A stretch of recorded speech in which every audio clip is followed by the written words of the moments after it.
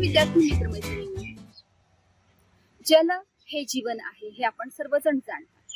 जल साक्षरता विषयी आपण अनेक चित्र अनेक विविध लेख वाचलेले आहेत चित्र काढलेले आहेत कविता ऐकलेल्या आहेत गाणे ऐकलेले आहेत. आपल्याला इयत्ता पहिलीपासूनच जलसाक्षरतेविषयी विविध धडे देखील आपण अभ्यासलेले आहेत.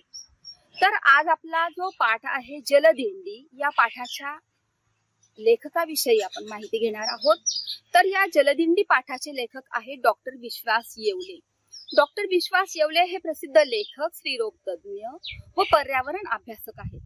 त्यांची नावाडी युगार्थू मैत्री करूया नदींशी उवाच सूर्यनमस्कार द मदर थोरली आई इत्यादी कथा संग्रह प्रसिद्ध आहे हा जो प्रस्तुत पाठ आहे तो जलदिंडीची गोष्ट या संग्रहातून घेतलेला आहे.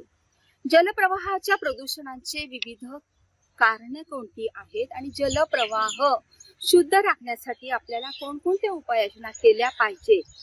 आणि या सगळ्या प्रवासाचा जो चित्तथरारक प्रवास आहे लेखकांचा याचे वर्णन जलदिंडी या पाठात आपण शिकणार आहोत.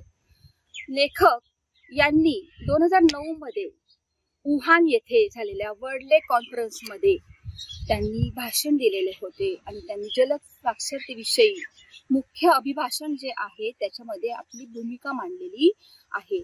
त्याचप्रमाणे गेल्या दोन हजार दोन साली सुरू झालेला हा जलदिंडीचा प्रवास गेल्या बावीस वर्ष अविरतपणे चालू आहेत आणि या प्रवासाचं वर्णन जे आहे जलदिंडी या पाठात त्यांनी केलेलं आहे.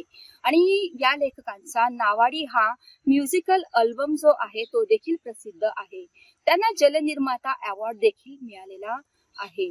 आणि लेखक जे आहेत डॉक्टर विश्वास येवले हे जलदिंडीविषयक विविध उपक्रम राबवत असतात आणि त्यांची जी मुलाखत आहे जी मुलाखत त्यांची घेण्यात आलेली होती त्यांची आता अनेक मुलाखती घेण्यात आलेल्या आहे कारण त्यांचे जे कार्य आहे ते जागतिक लेव्हलवर आज पसरलेले आहे आणि त्यांच्या विविध माध्यमांच्या मुलाखती देखील घेण्यात आलेल्या आहे आणि झी चोवीस तास वरील जी आनंद यात्रा या कार्यक्रमात त्यांची घेतलेली मुलाखत आहे ती आपण पुढील व्हिडिओमध्ये बघणार आहोत.